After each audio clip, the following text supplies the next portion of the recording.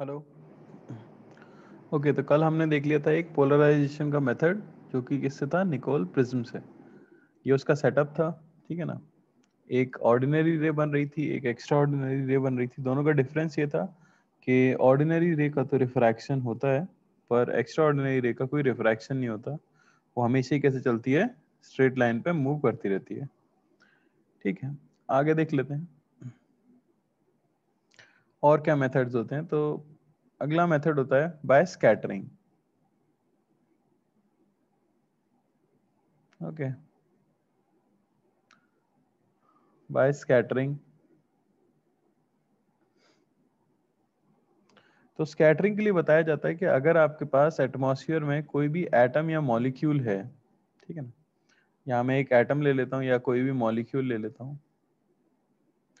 और मान लो कि उसके ऊपर लाइट रेज आके गिर रही है। तो कोई भी लाइट रे जब आके उसके ऊपर गिरती है इंसिडेंट रे बोल देते हैं इसे। तो कोई भी मॉलिक्यूल उसे क्या करता है? एब्जॉर्ब करता है और एब्जॉर्ब करने के बाद उसे सारे पॉसिबल डायरेक्शंस में स्कैटर कर देता है। इस फिनोमिना को बोला जाता है स्कैटरिंग ठीक है ना? तो एक फिनोमिना है जो कि देखा जाता है। बेसिकली मैं क्या लिख दूँगा? Molecules molecule absorbs light and radiates it it इसे हम कह देते हैं क्या? स्कैटरिंग। डिफरेंट डायरेक्शंस में रेडिएट कर देता है। तो अब इससे पोलराइजेशन का क्या रिलेशन है? तो मान लो यही मॉलिक्यूल आपके पास है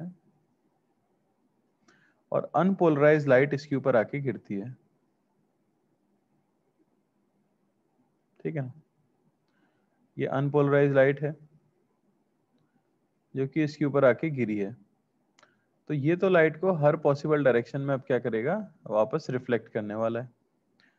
ऐसा देखा गया कि जो light direction of incident ray ये जैसे इंसिडेंट रे है,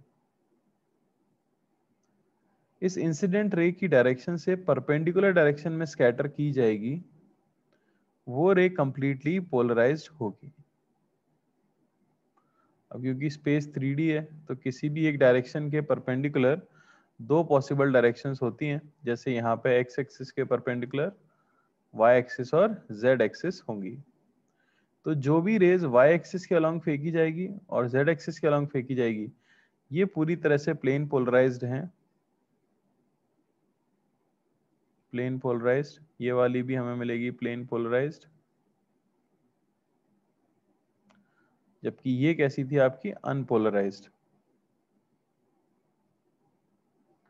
और यहाँ से जो निकलेगी, वो एज इट इज़ आपको मिलने वाली है। पार्शियली पोलराइज्ड हम उसे कह देंगे। ठीक है ना? तो ये है पार्शियली पोलराइज्ड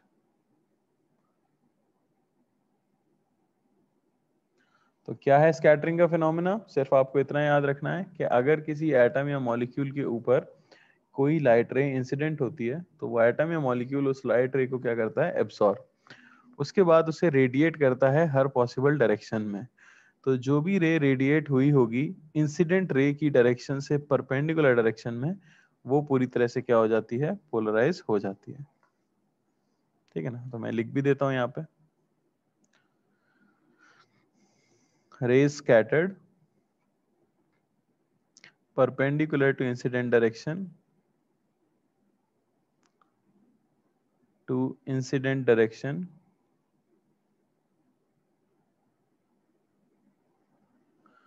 ये तो होती है completely polarized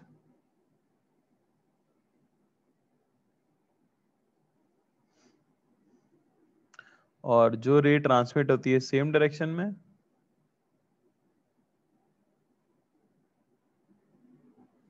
rays transmitted in same direction? ये होती हैं भाई पार्शियली पोलराइज्ड ठीक है ना? बस। और तो मैं इसमें क्या ही बता सकता हूँ। ठीक है। चलो तो ये मेथड हो गया किसका? स्कैटरिंग का मेथड अब एक जो मैंने कहा था कि जिस पे क्वेश्चन आ सकता है और मेंस में आया भी है, वो ये चीज़ है। ठीक है ना? मैलस लॉ ठीक है? ये लॉ बस आपको याद रखना है। मैरिस लॉ क्या है ये लॉ कि ये लॉ बेसिकली रिलेट करता है पोलराइज लाइट और पोलरॉइड को। तो सबसे पहले हमें समझना होगा पोलरॉइड क्या है। तो पोलरॉइड एक डिवाइस है which allows oscillations in one particular direction only particular direction only to pass through it pass through it तो ये एक ऐसा मटेरियल होता है कि इसकी एक डिफाइंड एक्सिस होती है जिसे हम नाम देते हैं ट्रांसमिशन एक्सिस। डायग्राम अगर इसका मैं बनाऊँ तो इस तरह से डायग्राम इसका बना दिया जाता है। ठीक है ना? ये आपका पोलरॉइड हो गया। और इस तरह से एक एक्सिस ड्रॉ कर दी जाती है, जिसे नाम देते हैं हम ट्रांसमिशन एक्सिस। क्या मतलब है इसका? इसका सीधा सा मीनिंग है कि जैसे आपके पास एक अनपोलराइज लाइट है, जिसे हम इस तरह से ड्रॉ करते हैं अनपोलराइज लाइट को। बेसिकली होती क्या है वो? हर पॉसिबल डायरेक्शन में वाइब्रेशन हो रहा होता है। परपेंडिकुलर प्लेन में। तो जो वाइब्रेशन इस एक्सिस के अलोंग होगा, सिर्फ़ उसी को ये पोलरॉइड पास करने देगा खुद से। बाकी सारे ऑसिलेशंस को वो क्या कर लेता है? एब्जॉर्ब कर लेता है। समझ आई बात? तो ऐसे सब्सटेंस को आप क्या बोलते हो? पोलराइड बोलते हो। ठीक है ना? तो only only oscillations along transmission axis along transmission axis pass through it pass through it समझ आया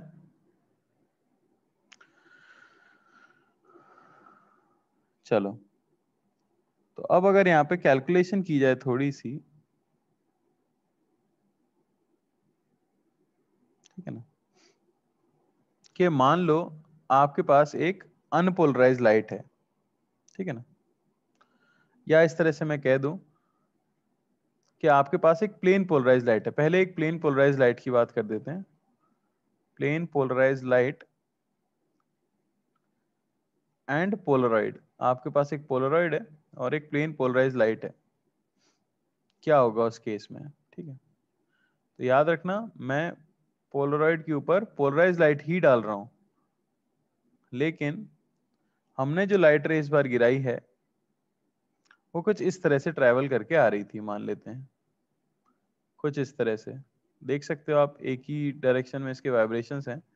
लेकिन वो जो डायरेक्शन ऑफ़ वाइब्रेशन है, वो हमारी एक्सिस के साथ कोई एंगल बना रही है। कुछ इस तरह से। ये एंगल मान लेते हैं थीटा समझ आई क्या बात? तो अगर इसका एम्पलीट्यूड ए नॉट था तो कौन सा एम्पलीट्यूड क्रॉस कर पाएगा सिर्फ़ इसको? यहाँ से जो रे निकलेगी, इसे क्रॉस करने के बाद जो रे निकलेगी ऑब्वियसली वो तो पोलराइज तो है ही, पर वो इस तरह से निकलेगी। क्योंकि ट्रांसमिशन एक्सिस के अलॉन्ग वाली निकल पाई है। तो अब मैं जानना चाह रहा हूँ कि इसका एम्पलीट्यूड अगर ए नॉट था तो इसका एम्पलीट्यूड क्या होगा?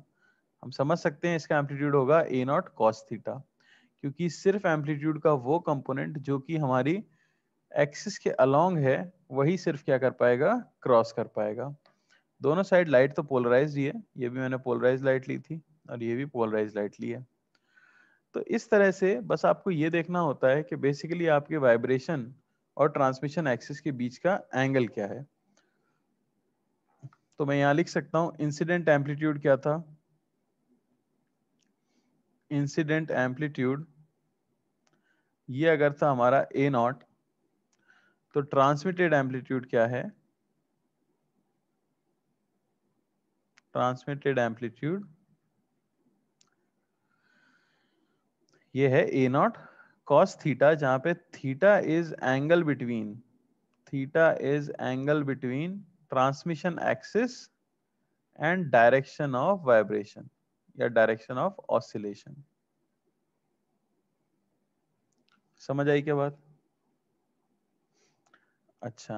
अब मेनली एम्पलीट्यूड से रिलेशन नहीं होता है। हमें एक चीज़ पता है कि इंटेंसिटी ये प्रोपोर्शनल होती है एम्पलीट्यूड के स्क्वायर के।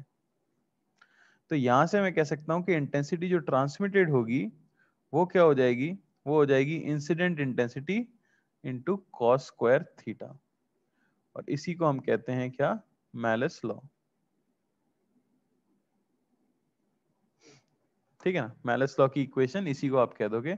कि अगर ट्रांसमिशन एक्सिस के साथ आपकी इंसिडेंट रे जो थी, उसका एंगल थीटा है, दोनों ही पोलराइज होनी चाहिए। दोनों मेरा मतलब है, जिसको इंसिडेंट कर रहे हैं, वो भी पोलराइज है, निकलने वाली तो पोलराइज होगी। और वो एंगल बना रही है अगर थीटा तो फिर आप देख सकते हो कि ट्रांसमिटेड इंटेंसिटी कितनी हो जाएगी I naught cos square theta यहाँ हम देख भी सकते हैं इफ़ थीटा को आप कर दो पाई बाय टू यानी अगर रे का वाइब्रेशन ट्रांसमिशन एक्सिस के परपेंडिकुलर है तो आई ट्रांसमिटेड क्या हो जाएगा? ज़ीरो पूरी तरह से वे क्या हो जाएगी? वेव क्या हो जाएगी? एब्सॉर्ब समझ आती है क्या बात? ठीक है ना? अच्छा क्या होगा अगर आप एक अनपोलराइज लाइट को पोलरॉइड पे गिराओ तो? अगर हम एक अनपोलराइज लाइट को पोलरॉइड के ऊपर गिराएँ तो क्या होगा? ठीक है ना? तो ये मान लो कि ट्रांसमिशन एक्सिस है। तो जैसा कि हम देख सकते हैं, यहाँ पे जो वाइब्रेशन होंगे, आप तो इस तरह से दिखाओगे। यहाँ पे जो वाइब्रेशन होगा, वो बेसिकली रिप्रेजेंट कर रहा है हर पॉसिबल डायरेक्शन का वाइब्रेशन परपेंडिकुलर प्लेन में। है कि नहीं? तो सबका कंपोनेंट हमें लेना होगा इस एक्सिस के अलोंग तो आप क्या ले सकते हो? ए नॉट कॉस थीटा की एवरेज वैल्यू बेसिकली आई जो यहाँ पे ट्रांसमिट होगा, ये हो जाता है I naught cos square theta का एवरेज ज़ीरो से लेके टू पाए तक। क्योंकि हर डायरेक्शन का वाइब्रेशन इस एक्सेस के साथ अलग अलग एंगल बना रहा होगा, जो ज़ीरो से लेके टू पाए तक वेरी करेगा। यही सॉल्व करने पे हमें मिल जाता है कितना? I naught by two so सिर्फ़ याद रखना, अगर आपकी unpolarize light I naught intensity की है ठीक है ना? अगर अनपोलराइज लाइट है आई नॉट इंटेंसिटी की है तो पोलरॉइड को क्रॉस करने के बाद जो ट्रांसमिटेड इंटेंसिटी होती है, वो आधी हो जाती है। ठीक है ना? ट्रांसमिटेड इंटेंसिटी क्या हो जाएगी? हाफ़ हो जाएगी। क्लियर है? कोई डाउट किसी को? चलो एक क्वेश्चन करके देख लेते हैं। ठीक है तो हमारे पास एक अनपोलराइज लाइट है और ये रहा एक पोलरॉइड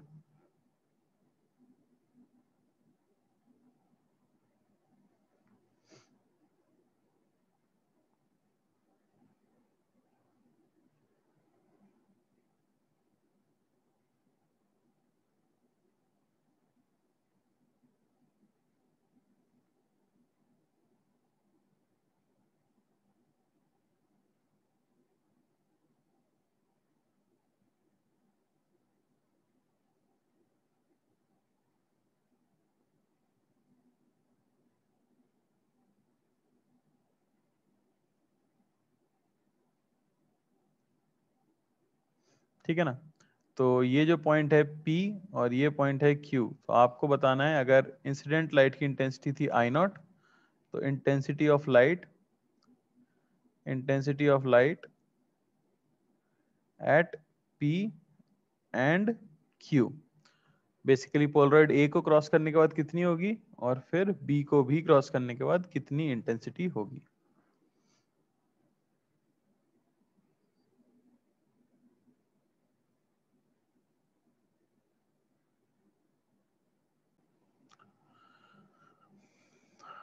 तो सिंपल सा क्वेश्चन है, ये अनपोलराइज लाइट है, जैसे ही यहाँ पे पहुंचेगी पोलराइज पोलराइड को क्रॉस करके तो ऑब्वियसली पोलराइज पहुंचेगी तो इंटेंसिटी तो क्या हो जाती है? हाफ़ तो पी पॉइंट पे तो आई नॉट बाई टू हमारा आंसर हो गया। अब आप देखो तो इसका वाइब्रेशन कुछ इस तरह से है। तो अगर ट्रांसमिशन एक्सिस से एंगल देखा जाए तो वो एंगल है थर्टी डिग्री का। तो अब यहाँ पे फॉर्मूला लगा सकते हो आप आई ट्रांसमिटेड आने वाली इंटेंसिटी जो है I naught by two into cos square thirty degree, जो कि हो जाता है क्या रूट थ्री बाई टू तो यहाँ से आपको मिल गया कितना? Three I naught by eight जिन लोगों ने इसमें भी दिमाग नहीं लगा पाया है थोड़ी सी शर्म महसूस करें। ठीक है ना? क्या फॉर्मूला यूज़ नहीं कर पाए। चलो, एक और करा देता हूँ मैं।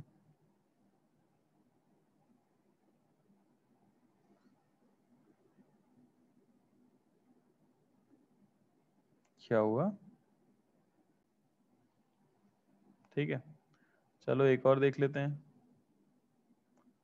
तो ये मान लो हमारी लाइट है। ये हमारा पहला पोलरॉइड हो गया। ये मान लो आपका दूसरा पोलरॉइड है। ये मान लो आपका तीसरा पोलरॉइड है। ठीक है भाई? ये वर्टिकल। ये मान लेते हैं एंगल 53 डिग्री और ये मान लो हॉरिजॉन्टल। ठीक है ना?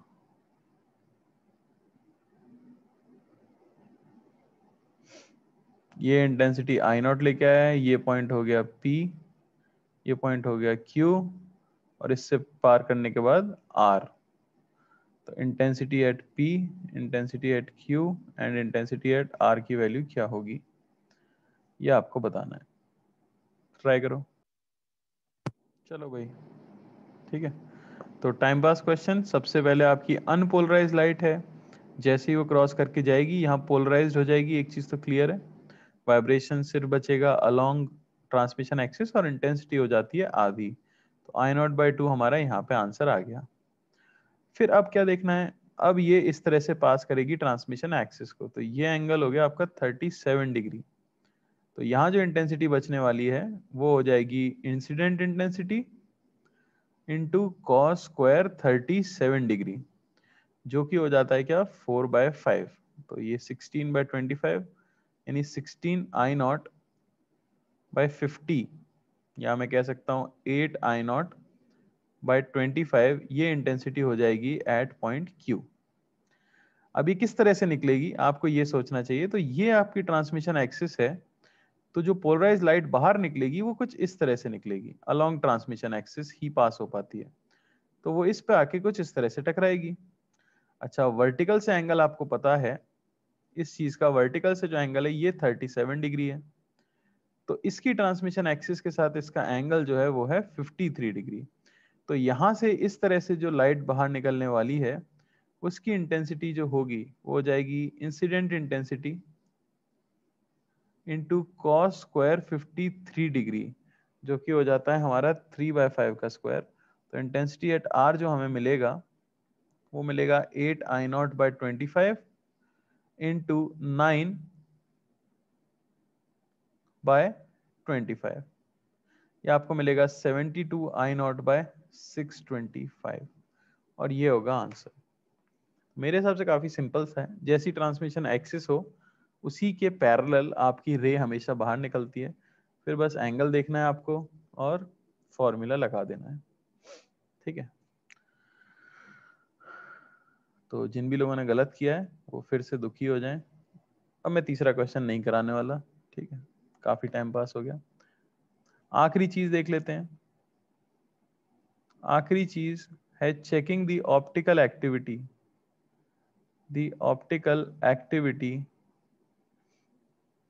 of a substance. Optical activity of a substance तो हल्का हल्का आपको केमिस्ट्री का फील आएगा इस शब्द में। ठीक है? कोई भी मटेरियल ऑप्टिकली एक्टिव है या नहीं, ये भी आप पता कर पाते हो। ठीक है ना? मान लो कि आपने उस मटेरियल को, जैसे कोई लिक्विड है, उसकी ऑप्टिकल एक्टिविटी आपको चेक करनी है, उसको एक सिलेंडर के अंदर फिल कर दिया है। ठीक है ना? इसके अंदर हमारा मटेरियल फिल हुआ है।